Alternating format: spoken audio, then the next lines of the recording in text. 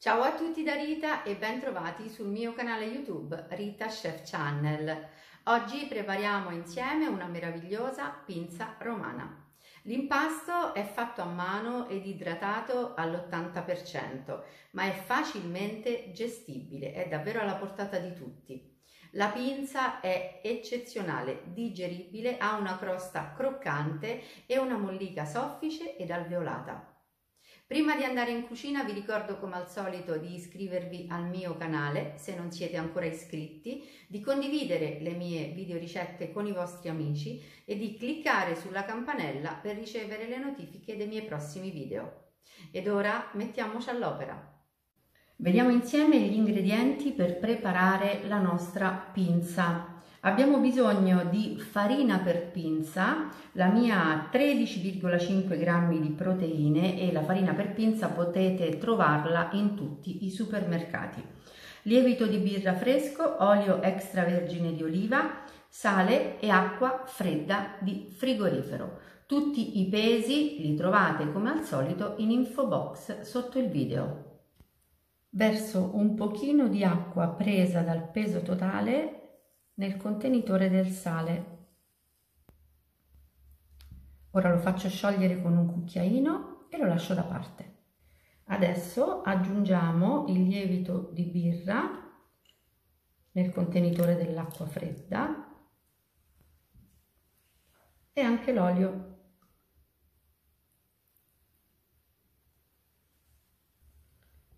E facciamo sciogliere il lievito con l'aiuto di una spatolina.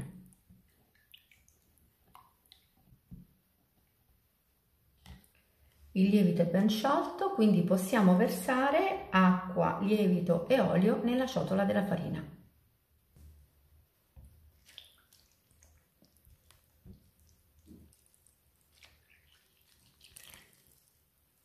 Lavoriamo con una spatola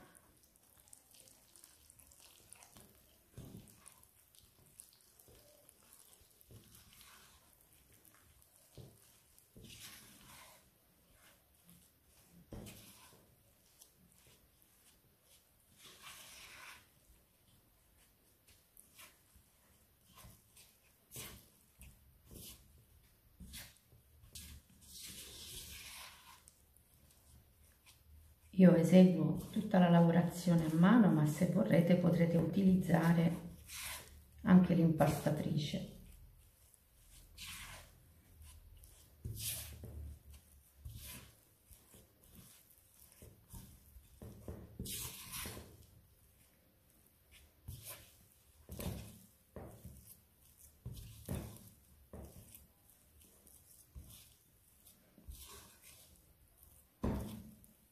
La farina è stata assorbita e adesso possiamo aggiungere l'acqua con il sale.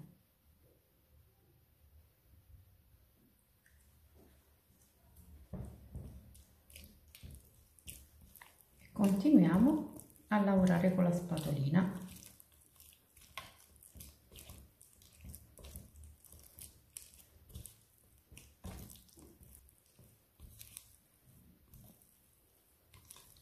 Questo pur essendo un impasto molto idratato è semplice da gestire.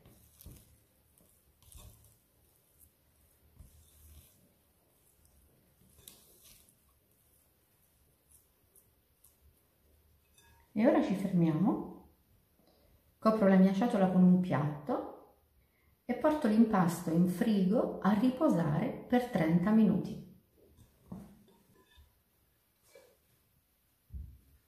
Dopo 30 minuti di riposo in frigo facciamo il primo giro di pieghe in ciotola. Ci bagniamo la mano con acqua, prendiamo l'impasto, lo tiriamo e lo pieghiamo.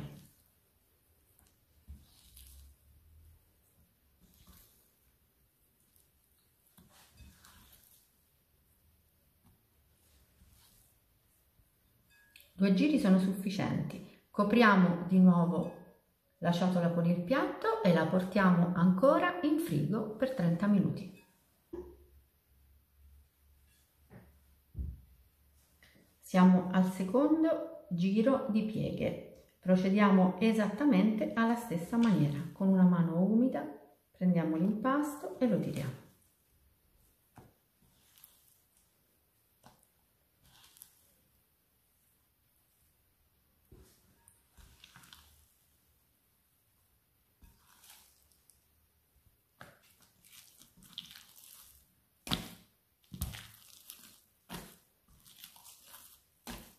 Vedete come l'impasto si stacca perfettamente dalla ciotola. Chiudiamo ancora con un piatto e ancora 30 minuti di frigo.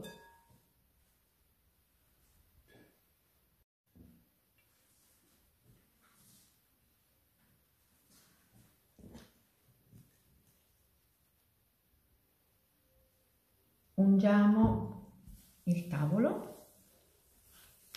con dell'olio extravergine di oliva. E rovesciamo l'impasto.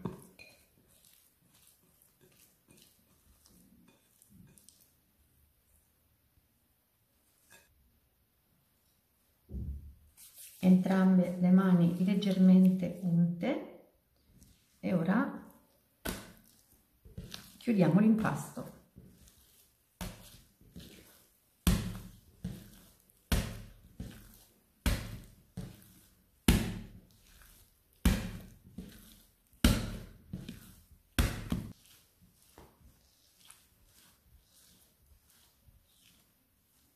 guardate che bello impasto vedete?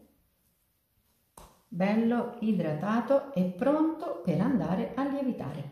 Ora lo trasferiamo all'interno di un contenitore leggermente unto con olio extravergine di oliva. Ora chiudiamo il contenitore con un coperchio e lasciamo lievitare il nostro impasto a temperatura ambiente per un'ora poi lo mettiamo in frigo per 24 ore.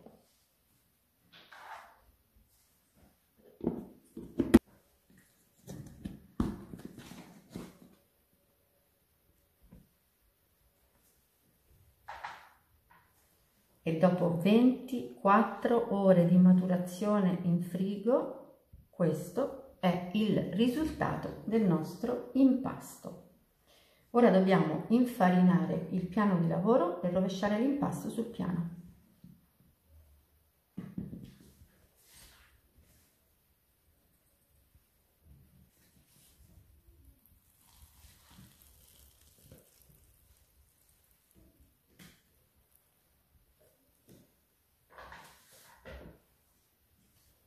È un impasto a dir poco meraviglioso. Adesso lo dividiamo in due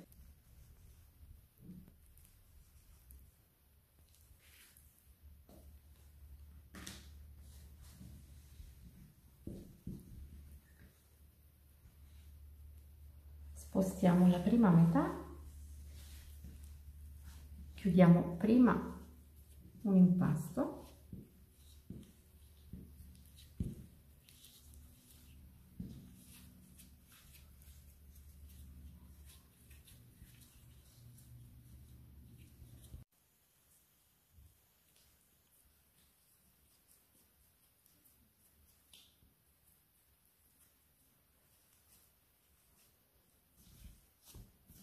il primo dei due panetti è pronto.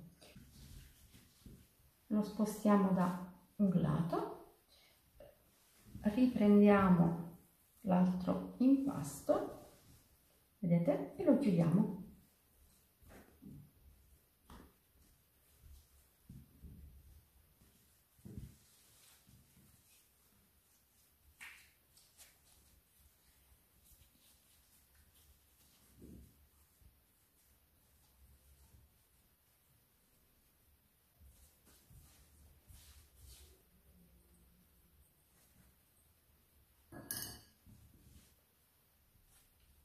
mettiamo anche questo panetto qui e a questo punto spolvero un pochino di farina sulla superficie.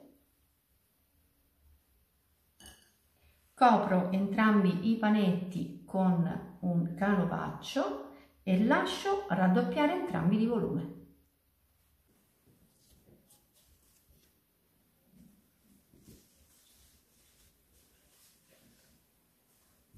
in un'ora abbiamo ottenuto una bellissima lievitazione. Adesso infariniamo per bene il piano di lavoro perché dobbiamo spianare la prima delle due pagnotte.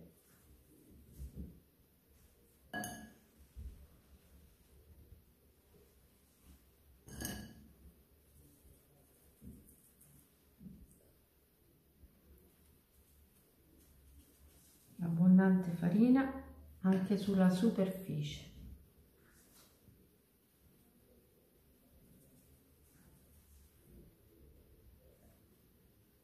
Ed ora spianiamo.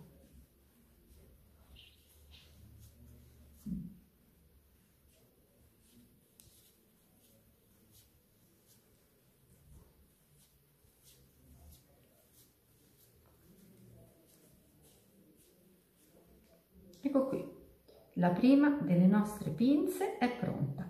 La solleviamo, togliamo la farina in eccesso e la mettiamo su una teglia.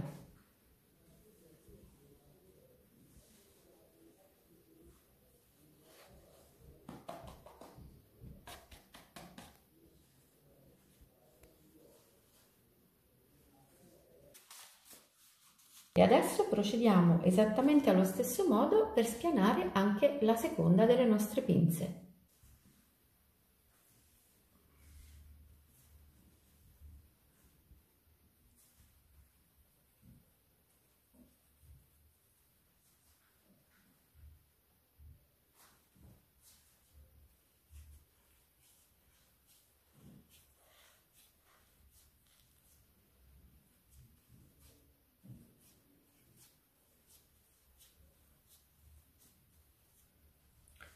L'aria è rimasta intrappolata nelle bolle. Vedete quante?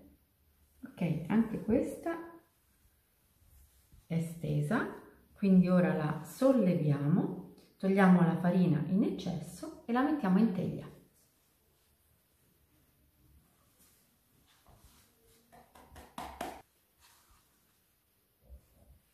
Adesso mettiamo un pochino di olio extravergine di oliva e do una precottura ad entrambe le pinze in forno ventilato preriscaldato a 250 gradi per 4-5 minuti. Ecco la prima delle nostre pinze dopo la precottura. Adesso dobbiamo procedere a mettere il pomodoro già condito con olio, sale e basilico.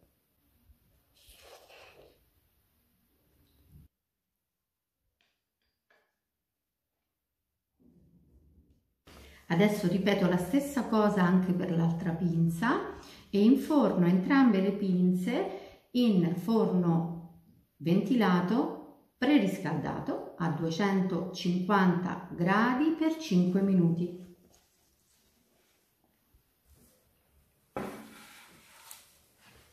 E ora è il momento di aggiungere la mozzarella.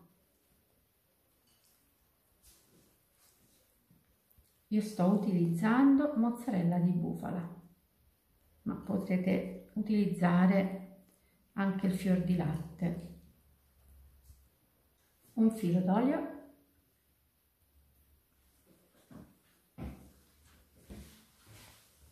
e in forno per gli ultimi 3 minuti. Ecco la prima delle nostre pinze appena sfornata. Ora sforno anche l'altra, poi metto un pochino di basilico fresco e possiamo finalmente gustarla.